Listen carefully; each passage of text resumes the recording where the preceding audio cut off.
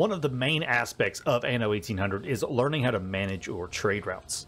Now, I do have an entire trade route guide over on the channel and everything, but it is a couple of years old and it's a bit lower quality because I wasn't that great at making my videos back then, and I do drone on and on for a little while. So I thought I'd make a shorter and a little more direct and to the point video uh, with about five things about trade routes that you kind of need to know and that will help you get your trade routes up and running and working properly. So let's jump in with our first one.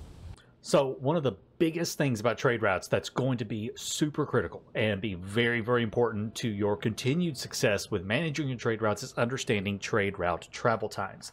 Now this is something that is available in the game. What you can do is click on your trading post and click on the statistics button down here. This will bring you to the storage tab. And what you're looking for is right here under all goods, you'll see trade routes. If you click that down on whatever trade route you need to see the time on, what you're looking for is the difference between all of these right here. As you can see, I have fish that was picked up 28 minutes ago, 19 minutes ago, 9 minutes ago, 1 minute ago. So it's around a 10 minute, roughly 9 to 10 minute turnaround time for this trade route, picking up fish and taking it from one island to another. Now, how is this information useful to you? I know a lot of people are always trying to figure out exactly how much they need to be taking back and forth to an island and everything. Well, that's actually really, really easy. Now that we know this right here, all we have to do is go to the island that is needing the goods, in this case, fish at the moment. That's going to be Kerner's Landing for me. We go under production and we look and see how much they need per minute. We can see that it, they need one ton per minute of fish. And it is taking this island about a roughly, you know, 10 minutes on average to bring the fish back and forth. I need to be bringing over a minimum of 10 fish per trip. Since I am bringing over 50 on the trade route, I'm bringing over enough. Now, you could micromanage this if you wanted to and set it at 10, but I would go ahead and just set it at 50. And the reason being is because of minimum stock, the next thing I want to talk about. So minimum stock is your internal trade routes and how much you want to keep in stock on the island. Now you can set this however you want. Uh, I normally like to do at least 25 in the farmer worker stage and then go up to 50 in the around the artisans. And then from there, I kind of scale it and everything. So if you're moving goods from one island to another, but you need to keep some of those goods on that island, use the minimum stock. I'm going to set this for 50. What this means is that trade route will take everything over 50 tons in the warehouse over to that other island and drop it off. I'll always be able to keep at least 50 in the warehouse. So that is how trade route travel times will work for you. You figure out the time between the routes just by looking again at this little button right here. And you look at your times going right here again about 10 minutes for me you multiply the 10 minutes by the consumption that the island needs. In this case, for me, it's one. And that number is how much minimum needs to be dropped off on the trade route. So it is that simple. How do you know when you need another ship on the route or a better ship on the route? Simple. It's if it ever goes over the amount of cargo that the ship can hold. If you're using a clipper, a clipper can hold up to 200 tons of goods. If you need more than 200 tons of a particular good, then you need to either add another clipper, or if you're in the engineer phase, build a cargo ship and add that to the route. And then if that needs more, just keep adding more ships to it, basically. Don't worry about trying to space them out and have them timed perfectly in between it.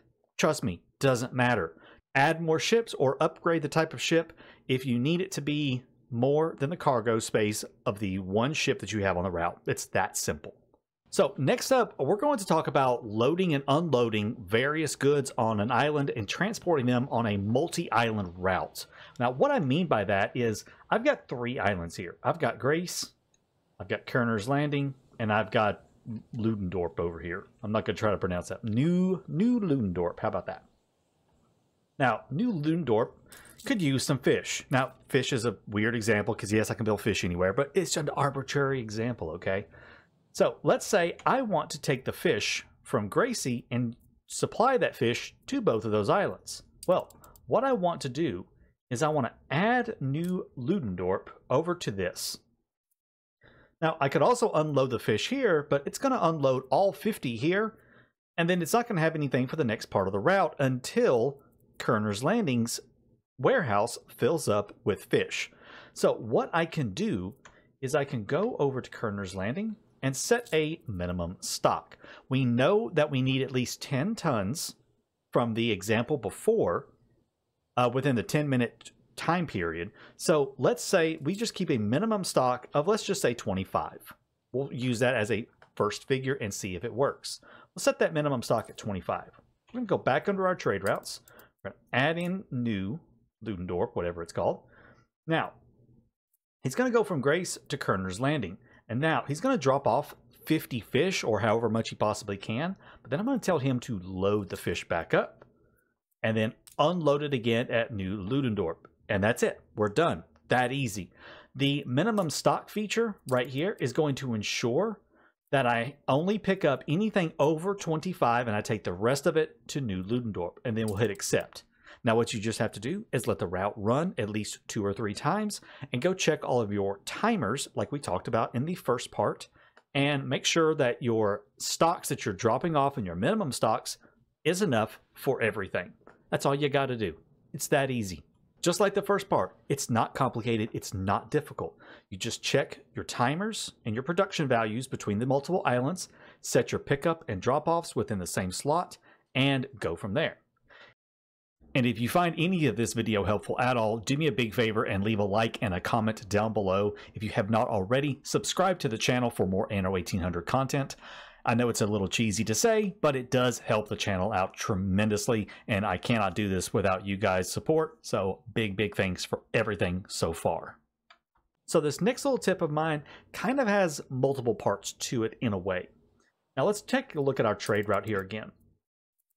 Now, this trade route is going to work perfectly fine as is. It's going to be great, not going to have any issues out of it. It will function just like this. However, eventually at New Ludendorp, I might fill up on fish, and then the uh, trade route will actually just keep overflowing, and eventually the ship will be full of fish. It will just be absolutely full of fish eventually. What you can do is set one of the neutral traders. That's going to be Archie, Kahina, Eli in the old world, or Anne, one of the pirates, if you have a trade agreement with her. You could do that there. You can do Isabel or Jean, the pirate in the New World, again, if you have trade agreement with him. In the Arctic, you could do this with this the Inuit, uh, Kumak. And in Enbesa, you can do this with Ketema. So what you can do is set a final destination on the trade route to go to any of these neutral traders, usually just whoever's closest on the trade route, and unload the goods to them. That's going to sell any excess goods. So now any excess fish I have left over on the trade route is going to go and be sold off to the neutral traders. That way you can make a little cash. Eventually, once your warehouses fill up, you could unload the excess goods and just go ahead and sell the excess. And it's fine. Make a little money off of it. Now, this little thing is actually going to come in really handy if you were to do something like this. Now, if I did not have Eli on this particular route like this, what's going to happen is eventually all this is going to start spilling over. I will eventually get fish filling up in all of these cargo slots right here, and the trade route will break down because it won't be able to pick up work clothes anymore. And this is just a natural function of how the trade routes work. It's just it's just one of those things that's going to happen. They will break down eventually like this, and you will get fish overflowing. Now, there's two things you could do. You could use discard cargo. Uh, that just dumps the cargo overboard and it just floats in the water for about 10 minutes and then it disappears. Easy enough. Or you could do like we did a minute ago and go to Wormways Prison or whoever else you want to and sell the goods. You don't need to pick anything up. We don't want to pick up any excess. We actually do want the storage on the very last part of the trade route to fill up and then the excess that cannot ever be unloaded will go and be sold. Again, makes you a little bit of money, keeps everything running smoothly, and you don't have to worry about any of your storages ever completely filling up, and you're going to make some money off of it. I know some people love to have their storage buildings completely full and have, you know, see 5,000 of whatever, but it's just good sitting there doing nothing for you you know, especially early game, you need money. You're really, really crushed for you're really, really cramped for cash. So doing things like this to sell excess goods off on a trade route at the end of it is really, really good way to make some money. So another big question I see a lot is which ship should I use for a route? Now in the base game, there are basically four types of trade ships. There's the Clipper, the Schooner, and the cargo ship. There's also the Great Eastern. If you do not have the Research Institute from Land of Lions DLC, then the Great Eastern is available one time after you finish the World's Fair. You'll get a quest from Archibald Blake to get a permit to give you one Great Eastern, and that is it. If you have the Research Institute, you can research permits to build more Great Easterns. If you have the Passage DLC, you have access to airships, specifically one type of airship. And then if you have Empire of the Skies, you have a smorgasbord of airships you can build. But we're just going to talk about the four basics. And I know I keep saying four, but there's only three on the map because the fourth one is a charter route. And we'll talk about charter routes specifically in just a second. But let's talk about these three guys right here first. Your three basic types of trade ships. Now, they all actually are useful. Even the little schooner is very, very useful. Now, obviously the cargo ship is going to be your main hauler. This is going to be your main ship for going between regions, for hauling your high consumption goods, your coffee, your rum, your chocolates, all that cigars, all that kind of stuff from the new world coming into the old world. This is the ship you're going to want to use for that when you get access to it and your consumption starts really, really ramping up on a lot of those goods in the engineer and investor phases. The Clipper is going to be your, I actually like to consider it kind of my workhorse a lot of times.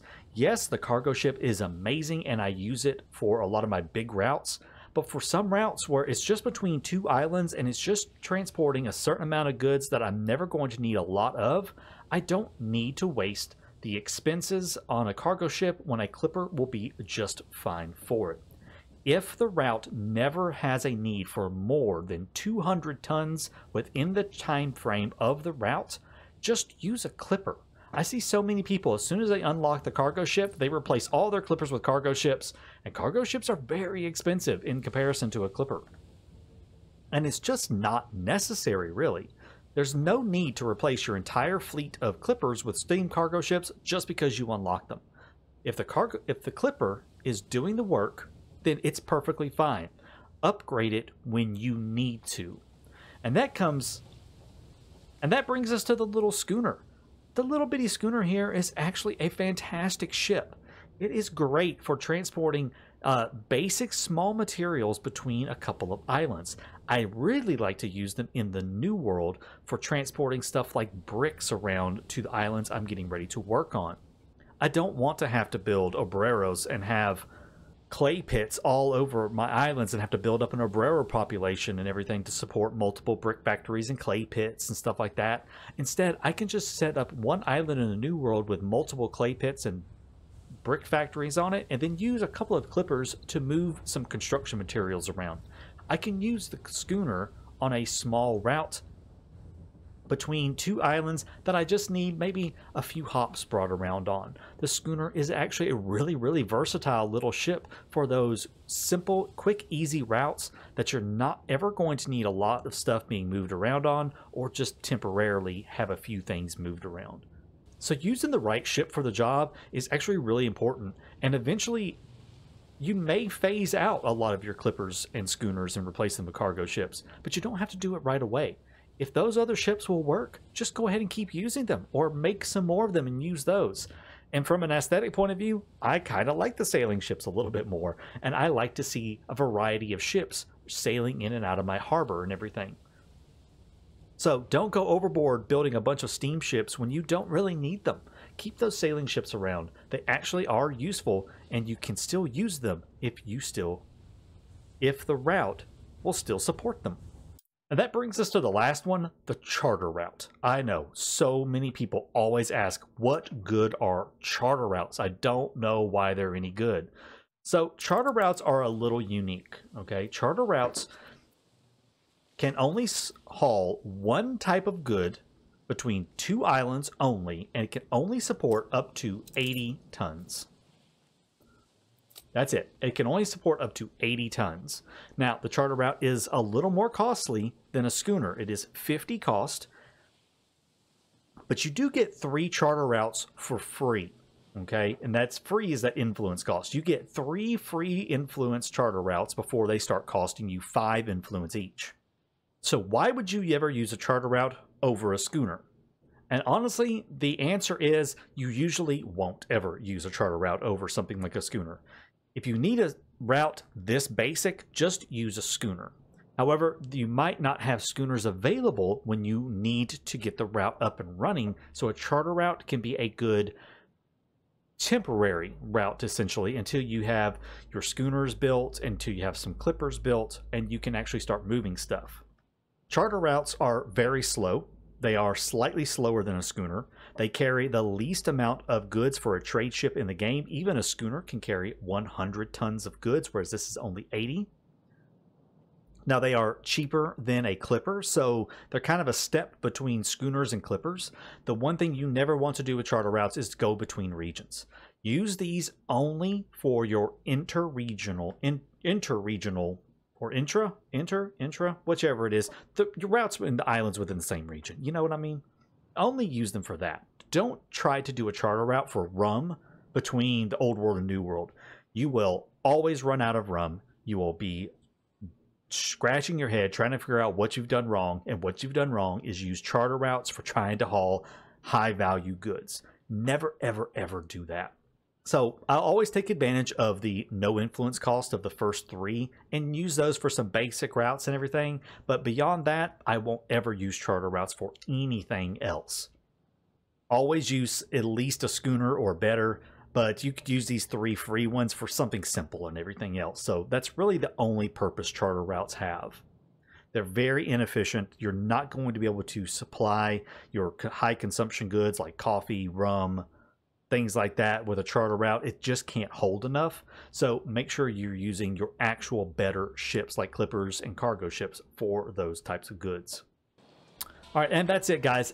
I just wanted to make a more compact and direct video about trade routes and everything else because I do see a lot of questions still about trade routes and how to set them up and how they work and how you need to do different things with them. There is a lot more to trade routes, so if you want some more uh, in-depth droning on about trade routes, uh, the video is linked down in the description below for that, so give that a check if you are interested. Alright guys, thank you so much for watching. I will see you in the next video. Until then, take care.